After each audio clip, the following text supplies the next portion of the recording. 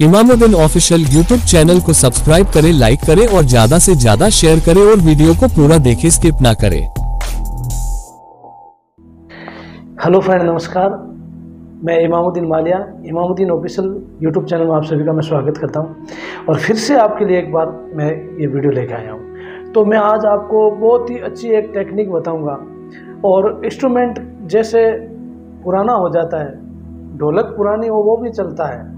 बाकी जैसे ढोलक की जो पूड़ी होती है, ये पूड़ा होता है ढोलक का। तो ये, जैसे ये मैंने नई बनवाई है ढोलक तो इसका टोन सुनना और जो ढोलक की जैसे पूड़े में कलर चढ़ जाता है और पुराना हो जाता है पूड़ा तो उसका टोन सुनना बहुत सारा फ़र्क पड़ता है। इससे काफ़ी लोग मेरे को ये बोलते हैं कि, सर, हमारी जो ढोलक है तो बिल्कुल ये ऐसे टोन क्यों नहीं आता है? कितना प्यारा टोन आ रहा है। जैसे भी हम क्रिकेट क्रिकेट कोई भी करते हैं तो इसमें टोन वो बनता ही नहीं। वो कारण क्या है? तो ये नई पूड़ी है ढोलक की। तो इसमें क्या है कि जैसे अभी देखो ये वाइट एकदम वाइट दिख रहा है, ठीक है ना? वाइट दिख रहा है और नई पूड़ी है। अब देखिए, इनका टोन सुनिए।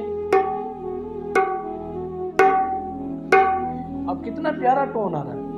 अब आपको मैं सुनाऊँगा एक और ढोलक है, ये काफ़ी पुरानी है, इसका पूरा बहुत पुराना हो गया। तो मैं इनका आपको टोन है, मैं चेक करवाऊँगा, इसमें और उसमें कितना फ़र्क पड़ता है? कितना फ़र्क पड़ता है? तो अब आपको देखो, मैं टोन चेक करवाता हूँ। ये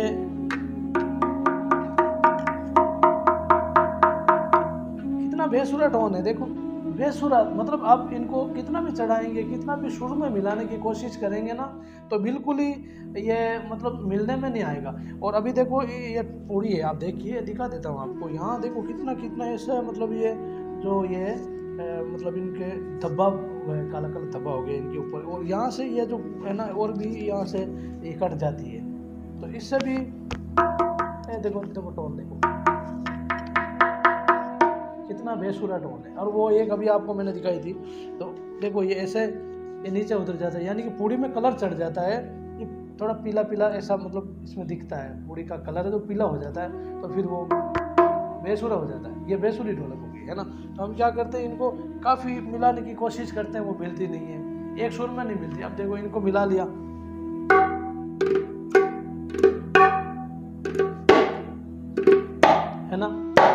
शानदार टोन आ रहा है। एकदम सुर में आप कहीं भी मिला सकते हो।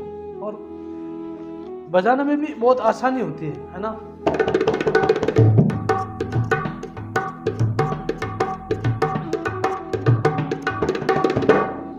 और आप, है ना, जो ढोलक या तबला, इनको अभी जैसे सर्दी का महीना चल रहा है तो सर्दी में क्या करना चाहिए? जैसे हम रात को प्रोग्राम बजाते हैं तो जितनी भी वो ठंड होती है ना ढोलक में, जम जाती है। इससे ढोलक का पूड़ा है ना, बिल्कुल ही जैसे आप नया भी होगा तो भी थोड़ा बहुत तो फ़र्क पड़ेगा और पुराने में भी तो बहुत फ़र्क पड़ता है। तो ऐसा टोन आपके सर्दी में नहीं आएगा। तो आपको करना क्या है, रात को आप प्रोग्राम बजाते हैं, अब प्रोग्राम बजा के आप घर आते हैं। घर आने के बाद में आपको करना क्या है, आपको धूप में इंस्ट्रूमेंट को रखना है। दस पंद्रह मिनट, बीस मिनट जितनी भी धूप आप ये सहन कर सके, इनको बर्दाश्त हो जाए।